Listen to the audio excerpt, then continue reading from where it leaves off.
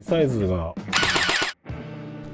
まああれだよね。ピーちゃんの雰囲気は味わえるんだね。このマガジン。うんここは感心できます。で純正のバッテリーが死んだんで今リポバッテリーつないでやってますけどね。なんでサイクルはかなり上がってますが。はいこんにちは。黒猫 YZ です。今日はねこれです。じゃん。えー、ウェルのね D90F D19 19じゃねえな。D90F かな？これね。バッテリーオペレーテッドブレイザーウェイガン。ブレイザーウェイガンの意味が僕には分かんないがまあブレイザーウェイガンです。ね。これでねちょっとは遊んでいこうかなっていう動画です。これがねどうだったかな？ホビーオフで3000円で何個か並んでたのを僕目撃しててまあそのうち買ってやろうと思ってたんだけど最後の1個になってたんでね3000円で買ってきました。なんでこれ3000円の中古品です？ね。これを今日は使って遊んでいこうかなっていうところですね。まあ外箱。これですよ。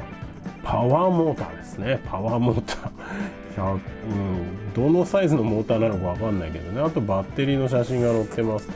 で外観はま P90 なんだけどなぜかここにコッキングハンドルがあると。ウージみたいなね。大丈夫かなこれ。オープンボルトだったりしてね実はね内部的には。分かんねえな。でもマガジンだしねここ。謎が深まりますね。この外観。よくわかんない。いろいろ書いてあります。注意書き。でここなんかねメカニズムが書いてありますよね。バッテリーモーターギアピストン。で球団方法。と フロートオンリーなんだよね。確かねこれ。でこれです。おこれ18歳以上用のってことだねきっとね。0から18まで×になってるから。19歳以上用ってことか。まあ電動ガンなんでね。中古なんで状態も含めて見てみましょう。まず開けていきます。バーン。おおいいね。まあちょっと乱雑に充電器入ってますけど AC アダプター。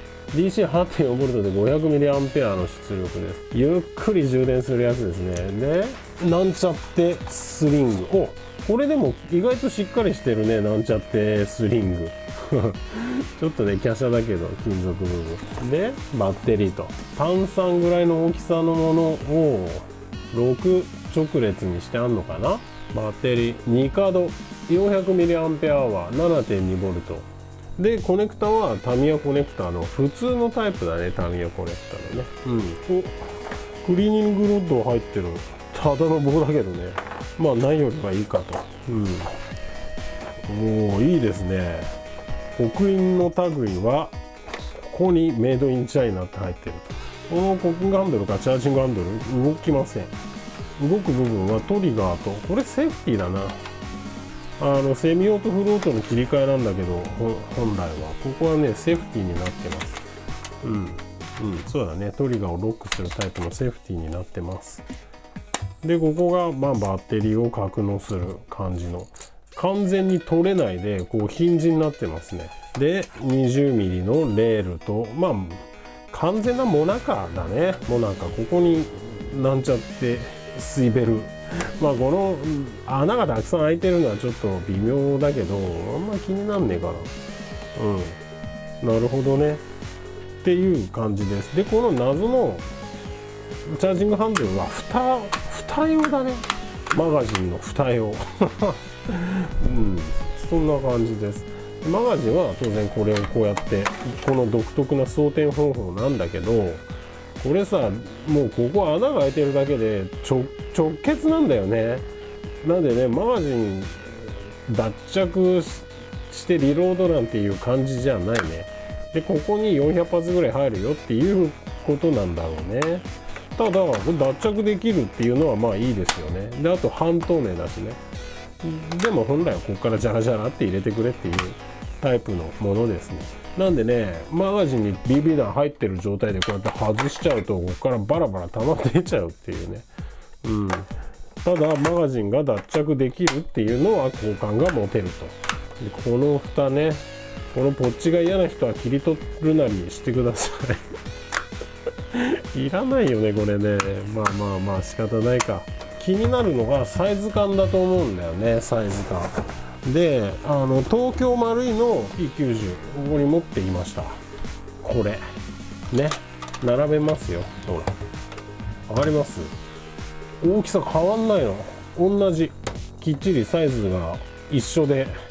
マガジンもねきっちりサイズが一緒です。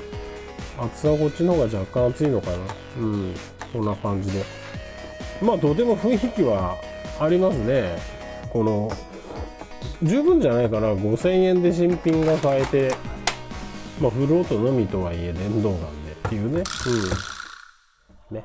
でバッテリーなんだけどこれ付属の AC アダプターで8時間とか充電すれば充電できると思うんだけどさこれここに書いてあるようにニッカドバッテリーでで一応中古品だからどんな使い方されたか分かんないしまあ新品でも大したことないバッテリーだとは思うんだけどこういうのを手に入れたらね充電と放電を何回か繰り返すとニッカドバッテリーの場合ねニッケル水素とかもそうか。充電と放電を何回か繰り返してやるとバッテリーが元気よくなるんでね寿命が来てなきゃね。もうバッテリーとして寿命ですよっていうものはなかなか電流が入らなかったりするんだけど。うん、でそういうことをやるのにこういう充電器だとねちょっと役不足なんで僕は今回ねこの感じの、ね、ラジコンのバッテリー充電するので使ってる充電器を使って、えー、ニッカドバッテリーの充補電っていうメニューがあるんでね。それを使って23回充電放電充電放電充電ってやってあります、うん、もう充電されてますけどね。充電直後で1ボルトぐらいはあるのかもうちょっとあってもいいような気がするけどな。でバッテリーをつないで。ね。このねタミヤコネクタ部分がね破損しててねちょっと良くないんですよこれ。まあ後で何とかしますけど。打ってみますねほら。まあちゃんと動くみたいだね。まあこんな感じでねドットサイト載せてちょっとゼロイン苦労するかもしれない。調整の幅がねバレるとここの高さが随分違うんで調整の幅よりもだいぶ出ちゃうかもしれない。まずはじゃあ重量からですね。これ非常に軽いんでね。ね 1057g で 1kg ちょっとという重量ですね。でじゃあ動作音量測っていきますか。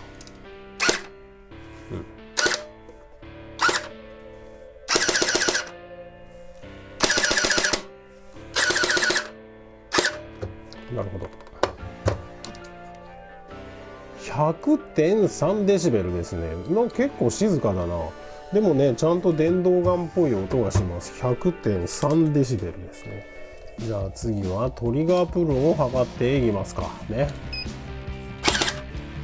0.805 0.845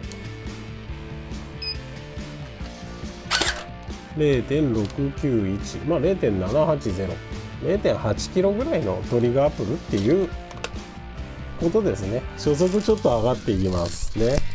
わかります？お出た。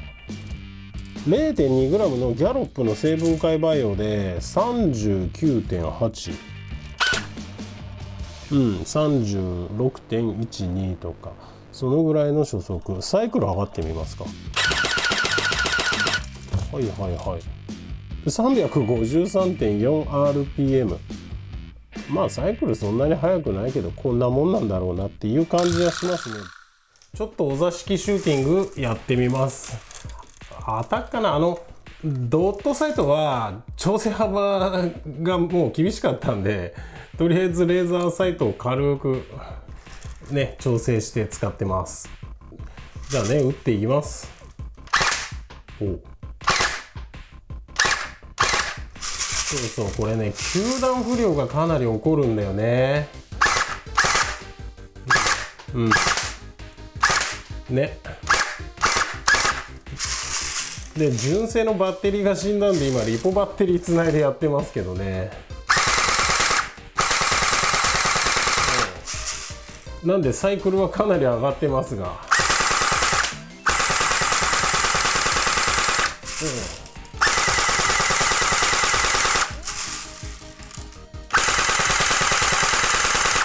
こんな感じ。はい。いかがだったですか？ね。ウェルのね。D90F ね。あのまあね。性能っていうかこれちょっと微妙なんだよな。マガジンがっていうか球団不良さえなきゃね。うん。球ちゃんと出てさえくれればもう十分なんだけどね。命中精度的にはうん5メートルで15センチ20センチぐらいのグルーピングっていうところかな。うん。十分だと思うんだよね値段を考えれば。ただただね球団不良だけが惜しい。ちゃんと出てくれれば。自重で BB 弾の自重で球団なんでなんだろうね。BB 弾変えてみるといいかもしんないね。これでも 0.2g の BB 弾だからな。軽い BB 弾だとまたもっと打てないような気ももっとこう入らないような気がするんだけどな。まあちょっと BB 弾変えて試してみるなりしてみます。うん。まあ性能はこんなもんですね。0.2g の BB 弾で40を切る初速とサイクルはあの微妙なもの。300何がしだったね。ただ球団不良があってその球がね あの抜けて飛んでるからそれでサイクルが低く表示されちゃうのかもしれないしその辺はちょっと分かんない。バッテリーもねこれも、まあ、おまけ程度なものだと思うんで、うん、まあねとりあえずシリーズ化して何回かやろうとは思うんだけどちょっとね分解して中身見るのと、うん、いくつかのバッテリー試してみるのとねやってみようかなとは思ってます。でそこから先があるかないかは中身見て決めよう。ね。こんな感じです。もうざっくり言うとこいつは電動眼界の銀弾だなと。だって球団方式が銀弾だもんね自重なんかね。ということでね銀弾程度に思っておくといいと思います。そんな感じ。ちゃんと球が出てくれれば御の字なんだけどな。そこだけですね。うん。一番致命的な部分、うん、そこが改善されるんだったらほんと5000円でも十分安いと思うんだけど。結局もうちょっとお金を出した方が幸せになれるよってことだね。せめてねダブルイーグルあたりのチープな電動ガンあたりを狙うのがいいのかなとは思いました、まあ、どうしても P90 のフォルムがいいっていう人にはね選択肢になるかもしれないですが、うん、というところですね、うん、まあちょっと残念ですがまあこんな感じです。使い物になるようならちょっといじってみよう。BB 弾変えてなんとかなるならそれでもいいと思うしね。っていう状態です。ということでね今日の動画はこれでおしまいです。また別な動画で会いましょう。打つべし打つべし打つべし。打てねえ時あるけどね。